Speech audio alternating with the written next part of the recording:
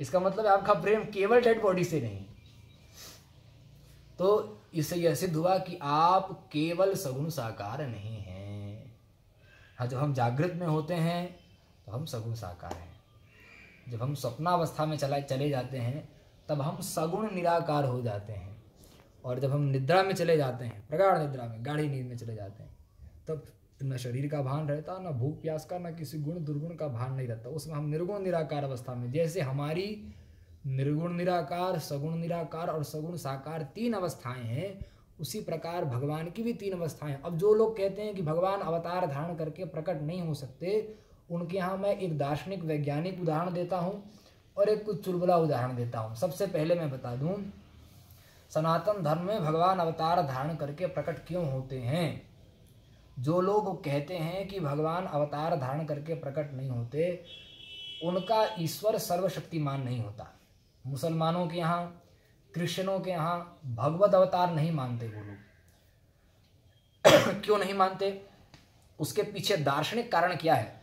बहुत कम मुसलमानों को भी पता होगा, बहुत कम क्रिश्चियनों को भी पता होगा। क्योंकि दर्शन का पक्ष तो केवल सनातन धर्म में है।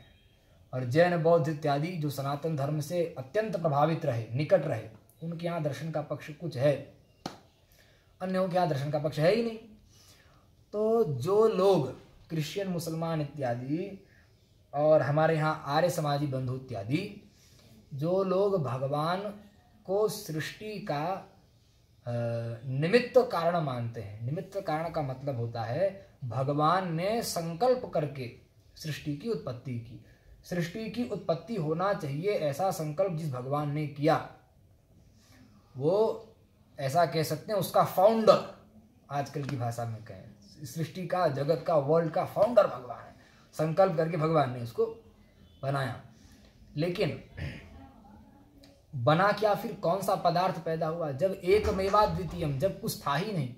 ईश्वर के जही सृष्टि उपाई त्रिविध बनाई, संग सहाय न दूजा। जब ईश्वर के अतिरिक्त वहाँ पर कुछ भी नहीं था और जब ईश्वर ने सृष्टि बनाने का संकल्प किया तो सृष्टि के रूप में जो कुछ भी, जो पदार्थ हमको आज दिखाई दे रहा है, जो कुछ हार्ड लिक्विड हमको सब दिखाई दे रहा है, ये जब प्रकट हुआ तो ईश्वर के अतिरिक्त जब कुछ था ही नहीं तो इन रूपों में कौन प्रकट हुआ? तो जो वेद बाह्य दर्शन है प्रायः, वे लोग मानते हैं कि ईश्वर ने सृष्टि को संकल्प करके बनाया, लेकिन सृष्टि के रूप में ईश्वर प्रकट नहीं हुए। वो सृष्टि के रूप में भगवान प्रकट है, ये नहीं मानते। भगवान सृष्टि बनाने वाले हैं, सृष्टि के रूप में बन करके प्रकट होने वाले नहीं हैं। ऐसी उनकी मान्यता है। ऐसी मान्यता रखने से एक दोष पहला तो ये खड़ा हो गया कि जब ईश्वर ने संकल्प किया कि मुझे सृष्टि बनानी चाहिए, और फिर जब सृष्टि बन करके तैयार हुई, उस समय उनका ईश्वर अकेला नहीं था, कोई ना कोई उनके साथ में था जो सृष्टि के रूप में पैदा हुआ।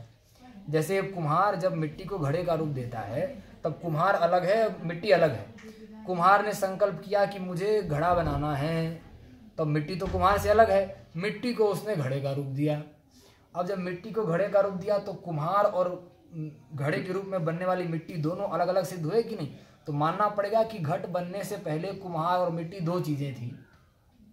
और जब आप ईश्वर को मानोगे कि ईश्वर ने सृष्टि बनाई, अल्लाह ताला ने सृष्टि बनाई, और ये जहान की रक्षा की, की संरचना की उस समय अगर आप ईश्वर ही उस रूप में प्रकट हुए ये नहीं मानते हैं तब मानना पड़ेगा आपका ईश्वर एक नहीं वहाँ पे कुछ दो पदार्थ होते जहाँ दो पदार्थ होता है वो ईश्वर सिद्ध नहीं होगा वो सर्वशक्तिमान सिद्ध नहीं होगा। जहाँ दो होंगे वहाँ तो प्रतिस्पर्धा हो जाएगी वहाँ तो कंपटीशन हो जाएगा। और ईश्वर से कंपटीशन करने का सामर्थ्य जिनके यहाँ जिनके ईश्वर से कोई कंपटीशन करने वाला होगा वो उनका ईश्वर ईश्वर ही कहाँ सिद्ध होगा? और दूसरी चीज़ ये है हमारे यहाँ सनातन धर्म में भगवान सृष्टि को बनाने वाले भी हैं और सृष्टि के रूप में स्वयं भगवान ही प्रकट हुए हैं। इसलिए हमने भगवान को जगत का अभिन्न निमित्तोपादान कारण कहा। भगवान निमित्त कारण भी है और उपादान कारण भी है। भगवान मेकर भी हैं और भगवान मैटर भी हैं। बनाने वाले मेकर और मैटर दोनों हैं। अब दूसरी चीज़ मैं आपको बताता हूँ। जो लोग ईश्वर ही सृष्टि के रूप में प्रकट हुए हैं, ऐसा नहीं मानते, उनका ईश्वर सर्वशक्तिमान नहीं होता। उनका ईश्वर सर्वशक्तिमान इसलिए नहीं होता, जैसे एक किसी वैज्ञानिक ने, इंजीनियर ने सामान एक जगह ला करके असेंबलिंग की और उसने एक ट्रक बना लिया। एक ट्रक को पूरा स्वरूप दिया, जैसा बनने चाहिए थी ट्रक पूरी बन करके तैयार हो गई। और ट्रक को चलाने के लिए वो उसमें बैठ गया। और ट्रक चलते चलते चलते चलते अगर ट्रक का ब्रेक फेल हो गया, तब अगर वो ट्रक बनाने वाला अगर उस ट्रक से कहेगा कि भाई, तुझको मैंने ही बनाया है और तेरा ब्रेक फेल हो गया, मैं तुझे बनाने वाला ईश्वर हूँ, मैं आज्ञा देता हूँ कि तेरा ब्रेक ठीक हो जाना चाहिए, तू कहीं जाके ठोकर मत खाना। तो ट्रक उसकी बात मान जाएगी क्या? नहीं मानेगी। तो ऐसे ही, जिनका ईश्वर सृष्टि को बनाता है लेकिन सृष्टि के रूप में खुद नहीं बनता। एक ट्रक को बनाने वाला, एक मशीन को बनाने वाला वैज्ञानिक मशीन पर जितना नियंत्रण रख सकता है, उतना ही नियंत्रण उनका ईश्वर जगत पर रख सकता है। और अगर वो मशीन अनियंत्रित हो जाए तो फिर उसमें नियंत्रण नहीं रख सकता। अगर जगत अनियंत्रित हो जाए तो फिर उसमें उनका ईश्वर नियंत्रण नहीं रख सकता। लेकिन हमारे यहाँ वैदिक सनातन धर्म की विशेषता क्या है? अब मैं उदाहरण देता हूँ। जैसे कि एक कोई सिद्ध योगी हो वो संकल्प से अगर किसी सिंह का रूप बना ले, सिद्ध योगी सिंह या व्याघ्र का रूप बना ले, और बनाने वाला भी योगी सिद्ध हुआ, और बाघ के रूप में बनने वाला भी योगी सिद्ध हुआ। अब जहाँ पर रुकना है, जहाँ पर थमना है, जहाँ पर दौड़ना है, पूरा नियंत्रण अपने शरीर पर उस योगी का ही है। तो जगत पर पूर्ण नियंत्रण नहीं रहेगा। अगर ईश्वर को जगत का केवल निर्माता मानोगे, जगत के रूप में निर्मित होने वाला भी ईश्वर ही है, ये नहीं मानोगे तो उस ईश्वर का जगत पर नियंत्रण सिद्ध नहीं होगा। जगत जब अनियंत्रित होगा तो वो तुम्हारा ईश्वर जगत पर नियंत्रण नहीं कर पाएगा। इसलिए तुम्हारा ईश्वर ईश्वर ही सिद्ध नहीं होगा, सर्वशक्तिमान सिद्ध नहीं होगा। जगत नियंता जगत पर नियंत्रण करने वाला ईश्वर सिद्ध नहीं होगा, इसलिए वो ईश्वर कहने लायक ही नहीं होगा। तो इससे ये बात सिद्ध हुई कि ईश्वर उसी को कह सकते हैं जो वैदिक प्रस्थान में कहा गया है, जगत को बनाने वाला भी और जगत के रूप में बनने वाला भी। और जो जगत के रूप में बन सकता है जो सर्वशक्तिमान है, और एक मैं चुलबुली बात कहता हूँ, थोड़ी हँसी वाली बात। अगर कोई मुसलमान सज्जन कहे कि हमारे अल्लाह में सब कुछ करने की खूबत है सामर्थ्य है, वो कुछ भी कर सकता है। हम लोगों के यहाँ भी कहा गया कर तुम अकर तुम अन्यथा कर तुम सर्वतंत्र स्वतंत्र परमात्मा कहा गया है। भगवान सर्वशक्तिमान है, वो कुछ भी कर सकते हैं। लेकिन अगर आप कहते हैं, कुरान शरीफ की सीमा में या बाइबल की सीमा में और और पुस्तकों की सीमा में कि ईश्वर कुछ भी करने में समर्थ है, वो कुछ भी कर सकते हैं तो फिर आपने ईश्वर का हाथ क्यों पकड़ लिया कि वो अवतार धारण करके प्रकट नहीं हो सकते? और अगर आप ये कहते हैं कि ईश्वर अवतार धारण करके प्रकट नहीं हो सकता। मनुष्य जैसी या किसी भी जो भगवान की इच्छा हो, जैसा भी भगवान अवतार लेकर के, स्वरूप लेकर के प्रकट होना चाहें, अगर आप कहते हो कि अल्लाह ताला कभी भी किसी अवतार में प्रकट नहीं हो सकता, तब आपको ये बात ध्यान रखनी चाहिए, आपकी दो बातें एक दूसरे से कट रही हैं। और आपको बताना होगा कि आपकी दोनों बातों में से कौन सी बात सही है। एक और आप कहते हैं कि ईश्वर आपका अल्लाह ताला सब कुछ कर सकता है। एक और कहते हैं कि वो अवतार नहीं ले सकता है। अगर आप कहेंगे कि वो अवतार नहीं ले सकता है तो सब कुछ कर सकता है, ये कहना छोड़ दीजिए। वो सब कुछ कहाँ कर सकता है? जब अवतार नहीं ले सकता तो सर्व सामर्थ्य तो सिद्ध नहीं हुआ और अगर आप कहते हैं कि वो सर्व सामर्थ्य संपन्न है तो वो अवतार नहीं ले सकता, ये कहना छोड़ दीजिए। दोनों बातें परस्पर विरोधाभास को प्रकट कर रही हैं। तो अपने दर्शन का शोधन होना चाहिए। सत्य सहिष्णुता हमारे अंदर होनी चाहिए। असत्य की स्वीकृति करके कब तक हम जिएँगे? असत्य हमको एक न एक दिन मार देगा। व्यक्ति नहीं, पंत मज़हब संप्रदाय के विनाश में ही हेतु बन जाएगा। क्योंकि प्रत्येक मनुष्य की बुद्धि सत्य का पक्ष लेती है, तत्व पक्षपातो ही स्वभावोधियाम तत्व का, सत्य का पक्ष लेना बुद्धि का स्वभाव है। इसलिए दोनों बातें विरोधाभास हैं। भगवान पूरी सृष्टि की संरचना करते हैं और अवतार धारण करके जब प्रकट होते हैं, तब ऐसा नहीं है कि भगवान पूरे एक जगह इकट्ठा होकर के, जैसे कोई कहे कि भाई एक डिब्बा इतना सा दे रहे हैं, पूरा समंदर उसके अंदर डाल दो। लोग ऐसा समझते हैं कि अवतार का मतलब पूरी भगवत्ता, सृष्टि जो है वो भगवान ही है इसके रूप में तो पूरा निकल करके एक ही राम कृष्ण के रूप में प्रकट हो जाना। इसका मतलब अवतार का मतलब ये नहीं होता। ये तो असामर्थ्य के कारण समुद्र के अंदर वो सामर्थ्य नहीं है कि वो विपुल है, अगाध है। विपुल अगाध होता हुआ भी एक छोटे से गिलास के अंदर आ जाए, ये समुद्र का सामर्थ्य नहीं है। लेकिन भगवान की भगवत्ता, इसी को तो कहा गया। भगवान की भगवत्ता यह है कि विशाल होते हुए और विपुल होते हुए, अनादि होते हुए, अनंत होते हुए, अव्यय होते हुए, अक्षय होते हुए भगवान, जो दृष्टि का विषय नहीं है अवतार कहा ही उसी को जाता है, अवतरति इति अवतार। हम लोग वायु को भी नहीं देख सकते, आकाश को भी नहीं देख सकते, माया को कहाँ देख पाएँगे? फिर उसके ऊपर भी मायापति भगवान को कहाँ देख पाएँगे? जब हम वायु को ही नहीं देख सकते, भगवान को कहाँ देखेंगे?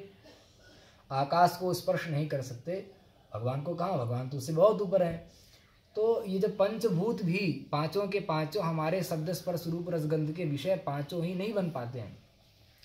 किन्हीं किन्हीं ना किन्हीं में में कुछ ना कुछ अंश छूट जाता है, आकाश, वायु इत्यादि में। ऐसी स्थिति में जो भगवान इन चर्म चक्षुओं का विषय नहीं है छोटा बच्चा होता है, हाथ ऊपर करता है। और छोटा बच्चा है, माँ के, पिता के कंधे तक, छाती तक नहीं पहुँच सकता तो स्वयं पिता ही नीचे झुक करके पुत्र को ऊपर उठा लेते हैं। स्वयं माता ही पुत्र को नीचे झुक करके उठा ले। इसका इसका अर्थ होता अवतार। अवतरति इति अवतार। जीव इतना नीचे पतित हो जाता है कि वो ऊपर उठ करके उत्क्रमण नहीं कर सकता, अपने स्वरूप तक नहीं जा सकता। तब भगवान स्वयं अवतार धारण करके प्रकट होते हैं और जीवों को जीवों का उद्धार करते हैं। ये भगवान के अवतार की महिमा है। जो दृष्टि का विषय नहीं था, वो दृष्टि का विषय बन गया। जो शब्द का विषय नहीं था, वो वेणुवादन करने लग गया। जो गंध का विषय नहीं था भगवान के अंक की दिव्य सुगंधी फैलने लग गई। जो भगवान स्पर्श का विषय नहीं थे, वो भगवान प्रकट हो गए तो रमा लक्ष्मी उनके चरणों की सेवा करने लग गई गोपांगनाएँ उनके चरणों की सेवा करने लग गई। तो भगवान नीचे उतर जाते हैं। ये भगवान की कृपा है, ये भगवान की करुणा है। तो भगवान नीचे जब उतरे, अवतार धारण करके आए, भगवत्ता उनकी बनी रहती। ऐसा नहीं कि भगवान पतित हो जाते हैं। मनुष्य का शरीर धारण हम करते हैं हम पतित होते हैं भगवान थोड़ी पतित होते हैं। भगवान का शरीर हमारे आपकी तरह हाड़ मांस का शरीर नहीं होता। अवतार काल में भगवान का शरीर कितना दिव्य होता है इसकी कल्पना करने के लिए मैं एक दृष्टांत देता हूँ। बहुत ध्यान से श्रवण करें। अभी हमारा शरीर है हाड़ मांस का। थोड़ा भी कहीं अगर आ, कोई चोट लग जाए तो रक्त निकल आएगा मांस निकल आएगा। लेकिन जब हम स्वप्नावस्था में होते हैं, स्वप्न देखते हैं। उस समय स्वप्न के शरीर में अगर कोई चोट लग जाए तो स्वप्न के शरीर में अगर कोई चोट लग जाए तो वहाँ पर रक्त निकलता हुआ दिखाई देगा। हाड़, मांस इत्यादि जैसे हमको यहाँ पे दिख रहे हैं, वैसे स्वप्न के शरीर में दिखाई देंगे। किंतु क्या स्वप्न के शरीर में रक्त, मांस होता है? नहीं होता। तो स्वप्न के शरीर में व्यवहार करने के लिए स्वप्न में हमको जो शरीर प्राप्त होता है, वो इतना दिव्य होता है कि ऐसा ही दिखता है। जैसा घड़ा है, जैसा हमारा चेहरा है, और और भी लोग जैसे हैं स्वप्न में, वो वैसे ही दिखाई देते हैं। किंतु पाँच भौतिक स्वप्न का शरीर नहीं होता। कफ पित्तवात का संघात हमारा शरीर स्वप्न वाला नहीं होता। जब हमें भी स्वप्न में व्यवहार करने के लिए इतना दिव्य शरीर प्राप्त होता है कि वो हाड़ मांस का पुतला नहीं होता फिर भगवान का शरीर जब वो अवतार धारण करके प्रकट होते होंगे, जीव के स्वप्न से तो कितना उत्कृष्ट भगवान का शरीर होता होगा। इसलिए राम कृष्ण आदि के रूप में जब भगवान प्रकट होते हैं तो लीला की दृष्टि से हम लोग कह देते हैं कि कृष्ण जन्माष्टमी के दिन भगवान का जन्म हुआ था। भगवान जन्म नहीं लेते, भगवान प्रकट होते हैं। और हमारी आपकी तरह हाड़मांस का शरीर लेकर नहीं, दिव्य शरीर को धारण करके भगवान जीवों पर अनुग्रह करने के लिए प्रकट होते हैं। और भी एक बात मैं कह दूँ, अवतार के संदर्भ में, भगवान जब अवतार धारण करके आते हैं, तब ऐसा नहीं कि अपने ऊपर में जो लोक में भगवान रहते हैं, उसको छोड़ के आ जाते हो। वहाँ भी भगवान एक स्वरूप से रहते हैं और अवतार काल में पृथ्वी में भगवान लीला भी करते हैं। व्यापक रूप से, एक राम दशरथ का बेटा, एक राम सब जग में लेटा। हाँ एक राम व्यापक हैं पूरे सृष्टि में और एक राम राम जी के रूप में प्रकट हो गए। तो अवतार का मतलब सावधानी से सुने जो लोग अवतार को मानते हैं, जो लोग नहीं मानते, दोनों ही ध्यान से सुने। राम कृष्ण आदि के रूप में जब भगवान अवतार लेते हैं, उसका ये मतलब नहीं है कि राम के रूप में अवतार लिए तो व्याप तो व्यापक जो राम था, वहाँ से राम तत्व निकल करके बस एक बिंदु में आ गया। ऐसी बात नहीं है। भगवान वहाँ भी हैं, उतने ही पूर्णांश में भगवान सब जगह व्याप्त होते हैं और उतने ही पूर्णांश में भगवान प्रकट विग्रह रामकृष्ण आदि में भी लीला काल में रहते हैं। इसी को भगवती श्रुति कहती है, पूर्णमद पूर्णमिदम पूर्णात पूर्ण मुदच्यते और पूर्ण से पूर्णमादाय पूर्णमेवा आगे कहा गया, अवशिष्यते, बाद में पूर्ण ही बचता है। तो एक पूर्ण से दूसरा पूर्ण निकाला गया। एक पूर्ण में से जो दूसरा पूर्ण निकाला गया तो पहले वाले पूर्ण में कमी नहीं हुई। पहले वाला पूर्ण भी पूर्ण रहा, दूसरा वाला पूर्ण भी पूर्ण रहा। ऐसा नहीं कि वो अंश के रूप में अलग हुआ। पार्ट, वो पार्ट नहीं होता, वो हिस्सा नहीं होता, वो जो अलग हुआ, वो भी पूर्ण है। तो पहले वाला भी पूर्ण, उससे जो निकला, वो भी पूर्ण, दोनों पूर्ण और एक पूर्ण दूसरे पूर्ण में मिल जाता है तो पहले पूर्ण में बाढ़ नहीं आ जाती। एक गिलास पानी में आधा गिलास पानी और डाल दो तो अंदर का पानी बाहर छलक के आ जाए। ऐसे नहीं होता। भगवान सदा पूर्ण रहते हैं। इसका उदाहरण क्या? समुद्र है। पूरे धरती में जितनी नदियाँ हैं, अनवरत समुद्र में जाके गिरती रहती हैं, लेकिन समुद्र गंभीर होता उसमें उच्छलन नहीं होता, उछल करके बाहर नहीं आता। तो भगवान जब अवतार धारण करते हैं, अवतार लीला काल से पहले भी पूर्ण होते हैं। जब लीला के रूप में राम कृष्ण के रूप में प्रकट होते हैं, वहाँ भी पूर्ण ब्रह्म ही होते हैं।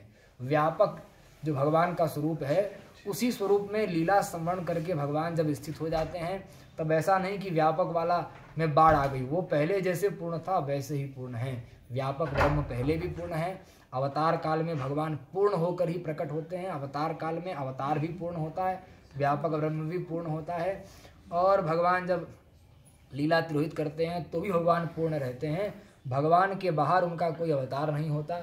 भगवान भगवान में ही अवतार लेते हैं। पूरा जगत उनमें स्थित है, पूरा जगत उनका स्वरूप है। भगवान कभी भी किसी भी अवतार में लीला के रूप में प्रकट हो सकते हैं, किंतु इतनी सावधानी आवश्यक है। भगवान वेद ने जिन अवतारों का समर्थन किया है, वही राम कृष्ण आदि के अवतार, परिपूर्णतम ब्रह्म के अवतार हैं। कोई मनुष्य अपने आप को अगर भगवान का अवतार कहता है तो भगवान का अवतार नहीं होता। पाँच भौतिक देह को लिया हुआ कोई मनुष्य भगवान का अवतार नहीं है। सदगुरु भगवान को भगवान कहकर प्रणाम करना चाहिए। किंतु ब्रह्म के अवतार जो वेद समर्थित हैं, उन्हीं का मंत्र जपना चाहिए, उन्हीं की पूजा करना चाहिए। भगवान श्री राम शबरी अम्बा से कहते हैं, पांचवी भक्ति के रूप में, मंत्र जाप मम दृढ़ विश्वासा। हे शबरी, मेरे मंत्र का भजन करना चाहिए, मुझमें दृढ़ विश्वास करना चाहिए, मेरे स्वरूप का ध्यान करना चाहिए। लेकिन कौन से नाम का कीर्तन? किस अवतार को स्वीकार करके? तो भगवान आगे कहते हैं, मंत्र जाप मम दृढ़ विश्वासा, पंचम भजन सो वेद प्रकाशा। वेद प्रकाशा, ये विशेषण है। जिसका वेद ने समर्थन किया हो, वेद ने जिन्हें अवतार कहा हो, उनका कीर्तन करना चाहिए। नकली बने हुए भगवान भगवान नहीं होते। वेद किस किस का समर्थन किया है? कौन कौन अवतार का समर्थन किया है? कितने अवतार हैं? जो चौबीस अवतार हैं जय जय मीन वराह कमठ नरहरि बलि बामन परशुराम रघुवीर कृष्ण कीरति जग पावन बुद्ध कल की बुद्ध कल की अरुहंस पृथु बुद्ध कल की अरुव्यास पृथु हरिहंस मनवंतर यज्ञ ऋषभ हयग्रीव ध्रुव वरदैन धनवंतर बद्रीपति दत्त कपिल देव सनकादिक करुणा करो चौबीस रूप लीलाधरी श्री अग्रदास उर्पद धरो। ये छप्पय पद है छप्पय छंद है। इसमें भगवान के चौबीस नामों का स्मरण किया गया है। जो नित्य प्रति भगवान के चौबीस नामों का स्मरण करता है, उसकी आयु, उसका यश, उसकी विद्या सदा बढ़ती है। भगवान की कृपा उसको प्राप्त होती है। जो आर्य समाजी लोग बोलते हैं तैतीस देव का अष्ट वसु द्वादश आदित्य इंद्र, प्रजापति, ये सब का क्या खंडन करेंगे आप? नहीं खंडन का कोई विषय नहीं है। आर्य समाजी अपने ओर से कुछ नहीं कहते हैं। आर्य समाजियों ने अवतार को लेकर के महर्षि के रूप में प्रसिद्धि जिनकी की गई, स्वामी दयानंद जी ने अवतार को अस्वीकार करते हुए और वर्णाश्रम की जो मर्यादा हमारे यहाँ है, वर्णाश्रम मर्यादा और अवतारवाद, इन दो का विशेष रूप से महर्षि दयानंद जी ने खंडन करने का प्रयास किया। खंडन किया मैं ऐसा नहीं कह रहा हूँ। उन्होंने खंडन करने का प्रयास किया।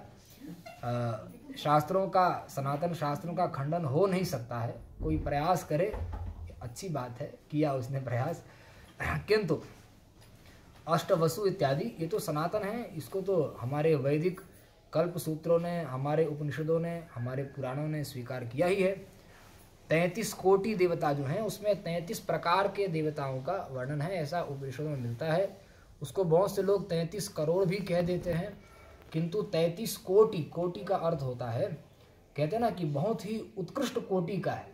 कोटि का अर्थ होता है बहुत निकृष्ट कोटि का है। कोटि का अर्थ होता है कि क्वालिटी क्वालिटी के आधार पर, गुणवत्ता के आधार पर। और अलग अलग अलग अलग बांट दिया जाता है। इस प्रकार का, इस प्रकार का, इस प्रकार का, इस प्रकार का, विभिन्न प्रकार के। तो कोटि का अर्थ यहाँ पर प्रकार से तैंतीस प्रकार के देवता माने गए हैं। और ये सनातन धर्म का सिद्धांत है। आर्य समाजियों का कोई पृथक से सिद्धांत वो नहीं है।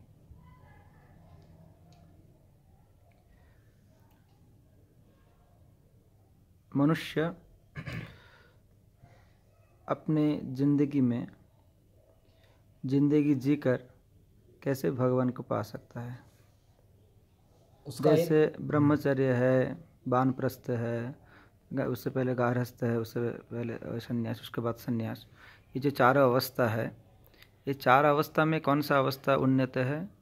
या उसी अवस्था में रहकर एक छोटा बच्चा है और उससे अगर कोई प्रश्न करे कि कक्षा पहली उत्कृष्ट है या कक्षा दूसरी उत्कृष्ट है या कक्षा बारहवीं उत्कृष्ट है या ग्रेजुएशन उत्कृष्ट है या पोस्ट ग्रेजुएशन उत्कृष्ट है या पीएचडी एमफिल डिलीट इत्यादि उत्कृष्ट है। अगर इस प्रकार कोई प्रश्न करता है तो एक सामान्य मनुष्य यह उत्तर देता है कि पीएचडी इत्यादि, जिसमें फिलोसॉफिकल स्टडी की जाती है, दार्शनिक पक्ष, वो उत्कृष्ट है। बढ़ते बढ़ते बढ़ते बढ़ते ऐसा कहा जाता है। चरम है तो चरम अवस्था की दृष्टि से कह दिया जाता है कि पीजी, पीएचडी इत्यादि उत्कृष्ट है। किंतु प्रश्न तो यह उठता है कि अगर कोई छोटा बच्चा है और उस छोटे बच्चे को उस मार्ग में चल कर के जाना है, तब उस बच्चे के लिए अकॉर्डिंग टू अ चाइल्ड उसके लिए अगर पूछा जाए कि वहाँ से तुलना करके अगर आप देखें तो फिर आप ये नहीं कह सकते हैं कि पीएचडी उत्कृष्ट है। उसके लिए तो नर्सरी ही उत्कृष्ट है।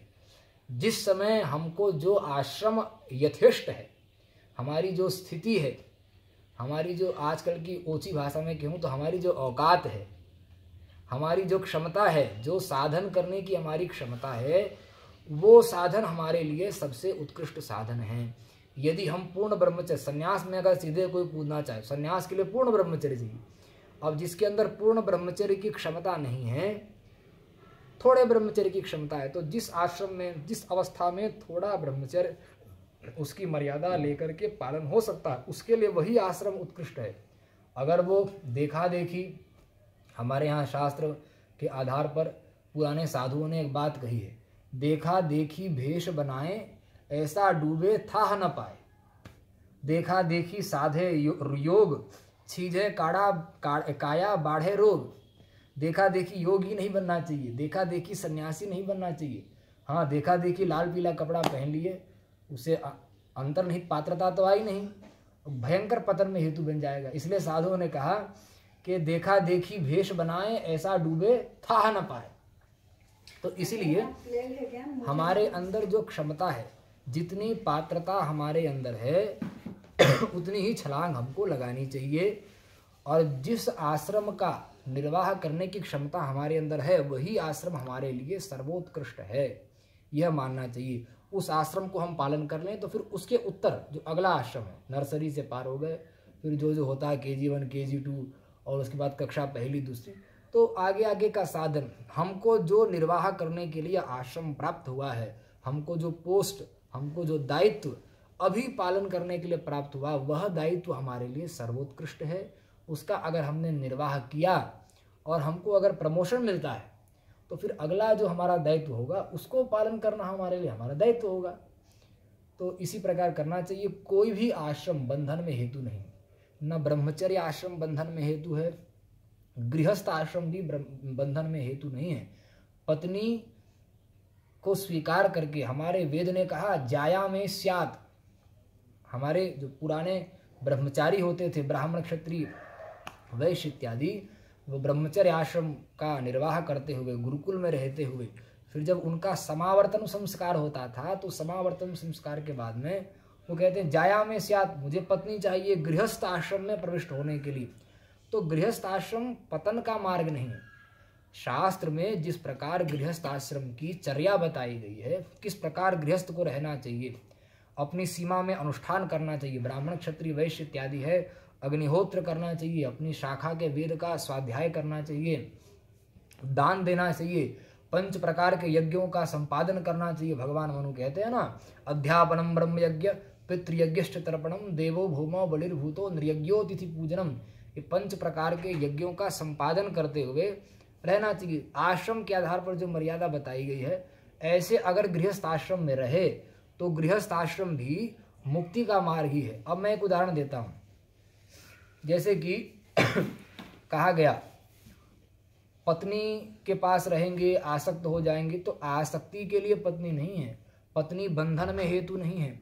ब्रह्मचर्य आश्रम में जिन ब्रह्मचारी, जिन ब्राह्मण ब्रह्मचारियों को ब्रह्मचर्य आश्रम में इतना वैराग्य नहीं हो गया कि वो सीधे ब्रह्मचर्य से सन्यासी हो सकें, उनके लिए कहा जाता है, भाई कि अगर तुमको वास्तव में दुख रूपी संसार में भी अगर तुमको लगता है कि सुख है, अगर तुम्हें इस प्रकार की भावना है तो जाओ संसार में देख करके आ जाओ।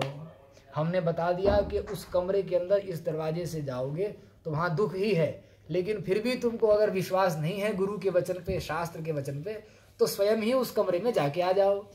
तब फिर उस ब्रह्मचारी को, ब्राह्मण ब्रह्मचारी को कहा जाता है कि गृहस्थ रूपी विवाह रूपी द्वार से गृहस्थ आश्रम रूपी कक्ष में प्रविष्ट हो करके देखो कि पत्नी, पुत्र हाँ जाया कलत्र इत्यादि में धन संपत्ति में क्या वास्तव में सुख है? ये भोग क्या जाओ।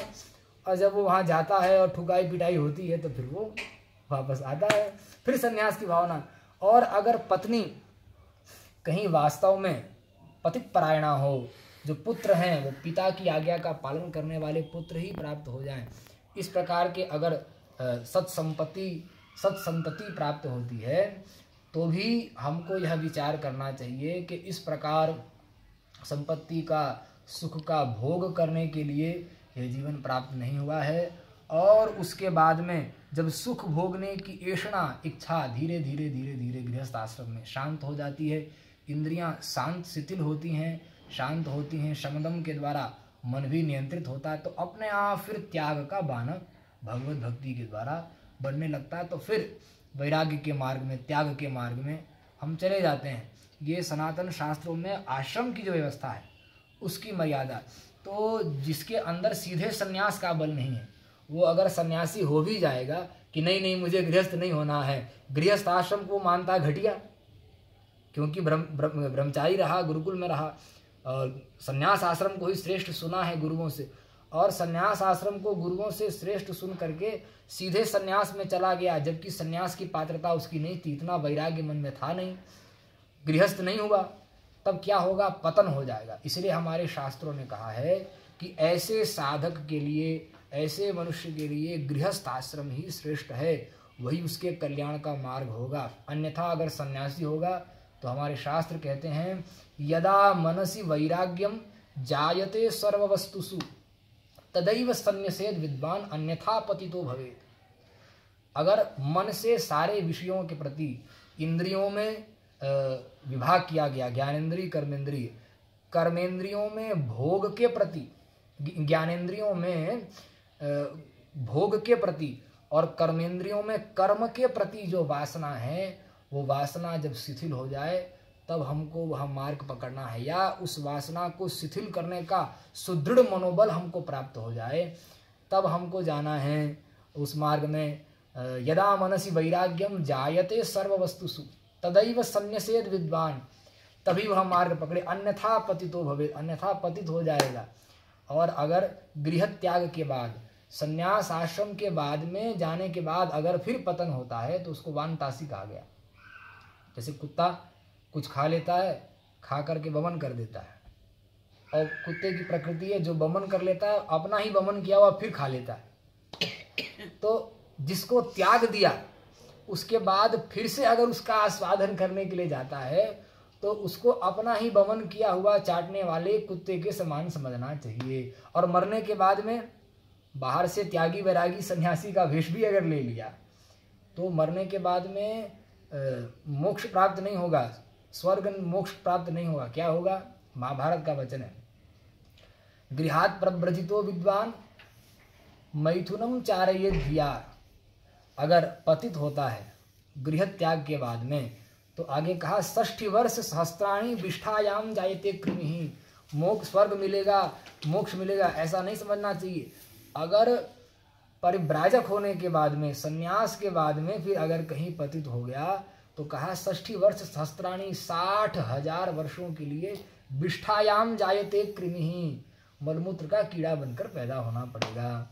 इसलिए आश्रम का चयन हमको बहुत सोच समझ के करना चाहिए। इसी पतन से बचाने के लिए हमारे ऋषियों ने मर्यादा बनाई। ब्राह्मण, ब्रह्मचर्य, गृहस्थ, वानप्रस्थ और संन्यास तीनों आश्रमों में अधिकृत है।